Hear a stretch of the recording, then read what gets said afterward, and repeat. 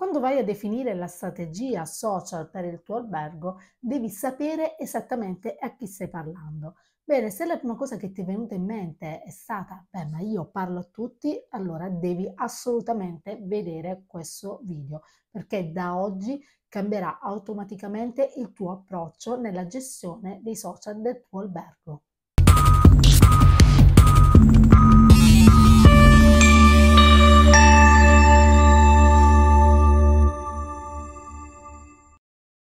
Sono Alessia, bentornati sul mio canale e benvenuti in questo nuovo video. Oggi parleremo della buyer persona. Parleremo della persona alla quale ti devi rivolgere ogni qualvolta che andrai a definire una strategia di marketing per il tuo hotel o comunque per una parte dei tuoi servizi. Questa cosa è molto sopravvalutata, questo aspetto, perché mm, come dicevo all'inizio, beh, voi Pensate di parlare a tutti, i miei clienti sono tutti. Beh, ma alcuni di voi hanno delle caratteristiche così particolari che dovesse rendervene da conto da soli che voi non parlate a tutti. Ad esempio, nel momento in cui non accettate bambini, non parlate alle famiglie con bambini piccoli, oppure siete un family hotel, bene, ma eh, voi parlate alle famiglie con bambini. Allora voi mi direte, vabbè, ma da me vengono anche le coppie. Sì, ma voi siete un family hotel, principalmente vi rivolgete a loro, poi effettivamente noi non andremo a escludere tutta l'altra parte del pubblico e così via. Questo sarà l'argomento che tratteremo oggi, ma prima di iniziare iscrivetevi al canale e attivate le notifiche così da non perdere tutti i miei contenuti e da oggi migliorerete anche voi la vostra presenza social. Bene, come dicevo andremo oggi a creare la buyer persona. La buyer persona è un aspetto per me fondamentale di quando vado a realizzare lo studio iniziale dei miei clienti, della quale vi ho già parlato in questo video. Perché è fondamentale? Perché a volte, come dicevo, nessuno, voi non sapete a chi vi state rivolgendo. Quindi in questo modo la strategia che si deve andare poi a creare non è efficace. Il pubblico che è dall'altra parte dello schermo non è disposto ad ascoltarci perché? Perché sono bombardati da messaggi, sono bombardati di post e da pubblicità, che come sono fatte? Sono assolutamente generiche. Invece noi dobbiamo mirare esattamente al nostro target perché deve vedere la nostra grafica, deve vedere il nostro copy oppure i primi secondi del nostro video e deve dire ah cavolo sta parlando esattamente con me, questa inserzione, questo post è fatto per me effettivamente era proprio quello che stavo cercando e quindi catturiamo la loro attenzione e magari li facciamo addirittura entrare all'interno del nostro funnel, cosa della quale parleremo poi in un altro video. Quindi realizzare, creare una buyer persona è per me davvero un aspetto fondamentale e partiamo da cosa? Partiamo dai vostri dati, da quello che voi sapete della vostra azienda. Quindi iniziamo ad analizzare un pochino quelli che sono gli ospiti, da qui l'importanza di andare a registrare tutto, anche coloro che provengono magari da Booking. Bene, che fascia d'età hanno? Da dove provengono? La maggior parte delle prenotazioni da dove provengono? Perché così capiamo perché magari le persone prenotano dalle OTA e non prenotano direttamente con voi. Cosa cercano? Calcolate che la maggior parte delle persone per il vostro hotel farà sempre le stesse domande. È necessario fare attenzione in modo tale che voi poi, magari nella comunicazione social o anche nell'email marketing, cosa fate? Andate ad anticipare quelle che sono le loro obiezioni. Obiezioni che noi conosceremo tramite lo studio della buyer persona, fondamentale. E quindi a questa persona diamogli un'età. Noi diciamo tra i 20 e i 60 anni, non serve a nulla e dopo vi spiegherò il perché. Quindi diamogli un nome e cognome. Il sesso, uomo, donna, non definito? Cerchiamo di definirlo perché magari ci rendiamo conto che sono maggiormente le donne che prenotano noi quindi dobbiamo parlare con un pubblico femminile oppure sono più gli uomini, magari un misto, bene, da oggi in poi noi faremo attenzione a questo aspetto perché ci dobbiamo andare a creare una percentuale. Purtroppo, eh, non segnandovi i dati, che cosa succede? Che voi credete, no, sì, sono sia uomini che donne, poi dopo che vi porto i dati che abbiamo raccolto insieme, a quel punto voi mi dite, ah no, cavolo, non ne ero reso conto di questo dato, di questo dato, di quest'altro dato ancora. Magari ci si, rende, si pensa di avere una clientela più uh, age, mentre in realtà magari la maggior parte dei vostri ospiti sono millennials e semplicemente voi non li avete mai incontrati perché non vi siete trovati in quei momenti nella vostra stessa struttura.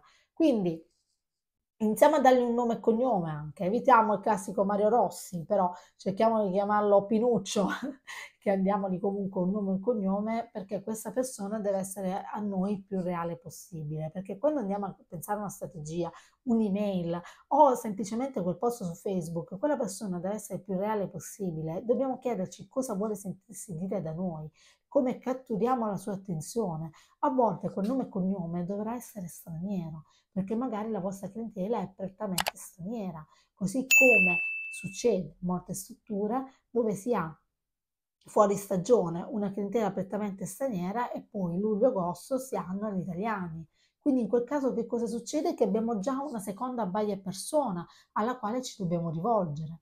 Quindi capite bene che ci sono tutti questi diversi aspetti, così come può capitare il business hotel che durante eh, l'estate diventa più leisure e quindi dobbiamo rivolgerci a un altro tipo di clientela che tu ad agosto stai a dire vieni da noi perché abbiamo una sala congressi, ma che gli frega quelli, non verranno da te perché quel tipo di aziende sono chiuse.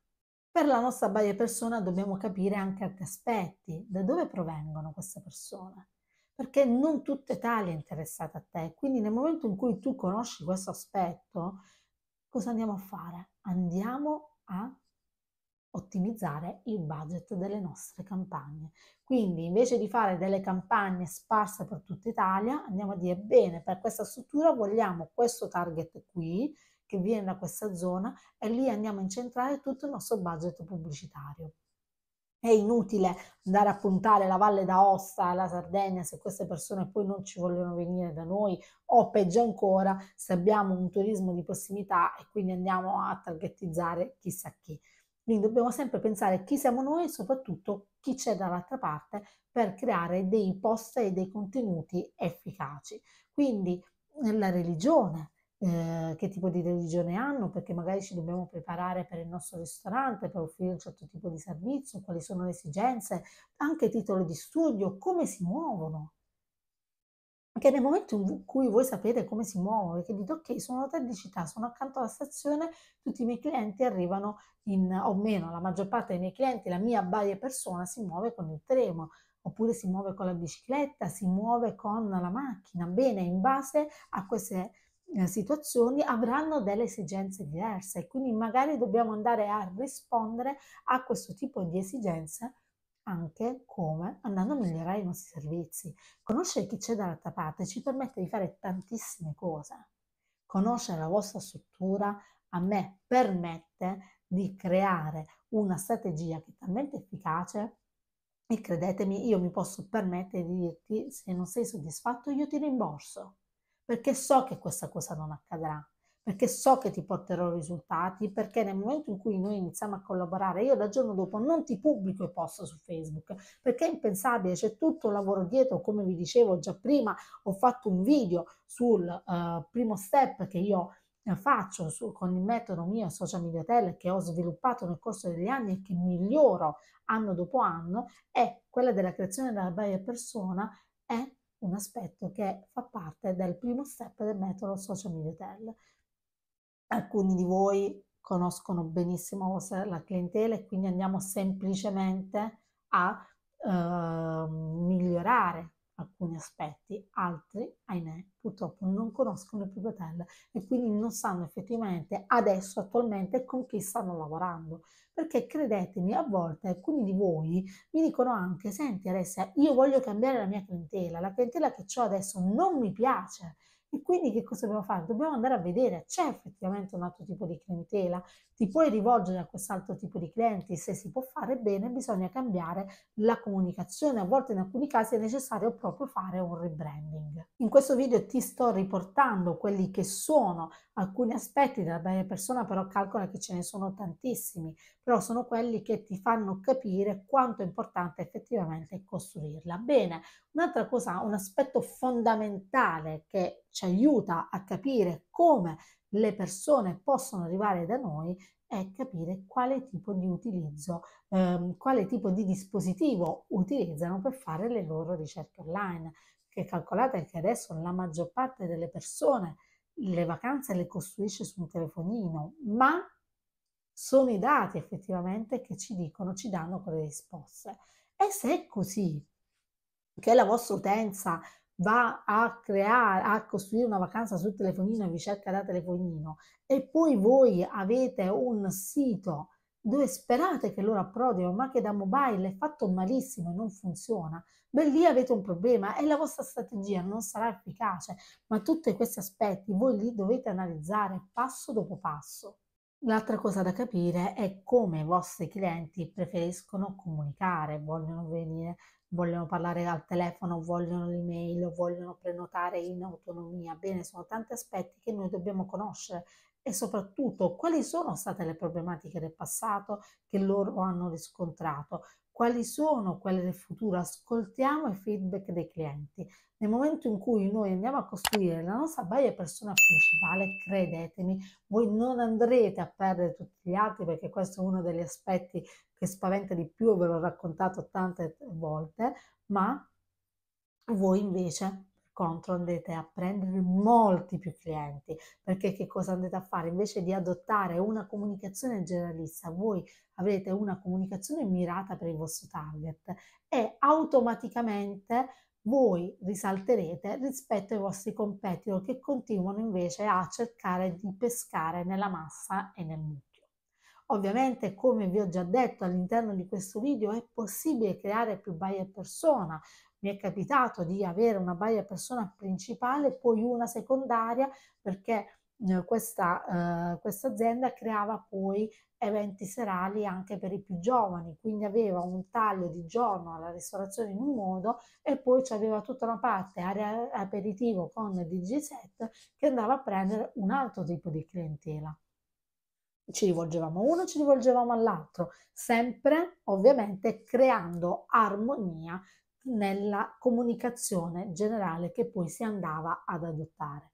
Però sapevamo sempre esattamente a chi ci stavamo rivolgendo e nel momento in cui noi sappiamo a chi ci stiamo rivolgendo, automaticamente anche poi quello che andiamo a scrivere nei nostri post sarà efficace sarà utile perché invece di fare un post generalista, ah che bello il nostro palazzo storico, andremo a creare un contenuto di valore per il nostro ospite che ha più senso poi per lui restare sulla nostra pagina e continuare a seguirci perché effettivamente quello che gli andiamo a dire è di interesse.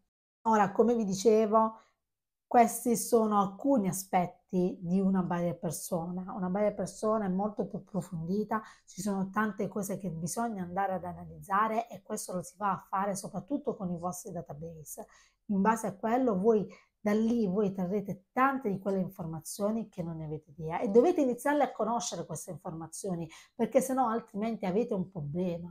Non è importante che le conosca il vostro social media manager, per prima cosa le dovete conoscere voi, voi dovete sapere in che direzione sta andando la vostra azienda perché magari voi credete di aver preso un bernoccolo, ma in realtà vi ritrovate con una ferita che ha bisogno di 14 punti di sutura e dal quale quindi necessita un intervento. Invece voi andate lì, continuate, cosa fate? Fate continuare un'emorragia invece di andare a risolvere e risollevare quello che è il vostro hotel o comunque la vostra struttura ricettiva.